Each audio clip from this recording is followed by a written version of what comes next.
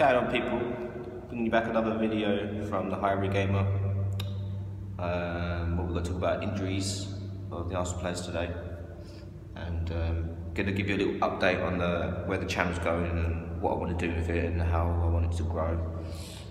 Um, got to have a, a guest on Saturday. One of my close friends. Uh, he's a Chelsea fan, so we get to we get to uh, stress him out and piss him off and just ask him some general questions about how his team's doing and how Arsenal are doing. Um, it's going to be very exciting. Um, as you can see by my face, I'm quite aghast about this. Uh, he's agreed to come on, so what I'm doing, I'm literally doing this on the phone at the moment. So on Saturday, I'm going to obviously I go shopping.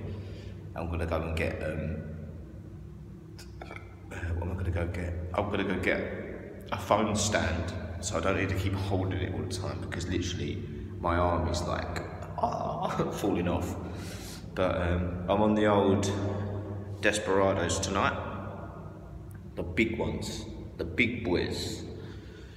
Um, I do like a Desperado. I think that if you smoke, if you drink a few of these, you're you're smashed. Do you know what I mean? So um, I'm looking forward to Saturday because I'm gonna have a right good piss up and have a right drink. I'm gonna get my notes sorted out and questions I'm gonna ask him and uh, see where we go with that. But it's gonna be a right laugh. We're gonna have a right joke and um, hopefully um, the video uh, you like it as well. So for jokes. So on the uh, injury news, Reiss Nelson's still out. Calum Chambers is out for the rest of the season. Peak because he's been actually playing rather well. Saka's out. Don't know how long he's out for, but he's still out. But we've got the uh, winter break. But, um, I saw a picture of uh, Torreira on a fucking sun lounger. I mean, what a life! What a life! Like a footballer's got. I swear, like footballers have got literally the best lives.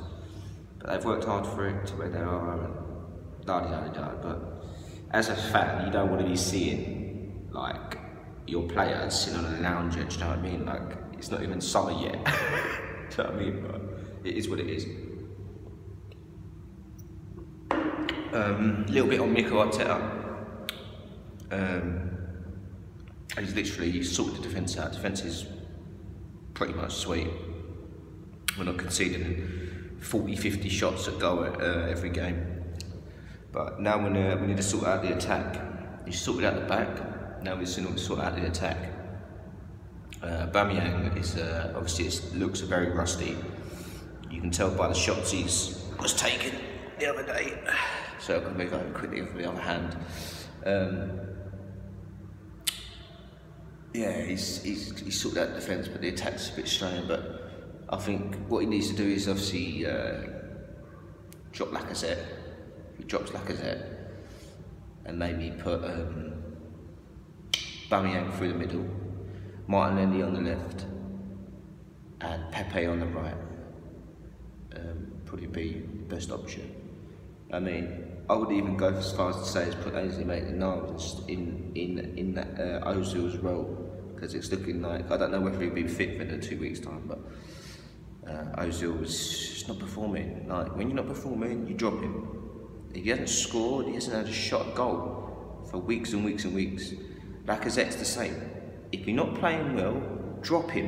It ain't a problem. It ain't, ain't hard to drop a player.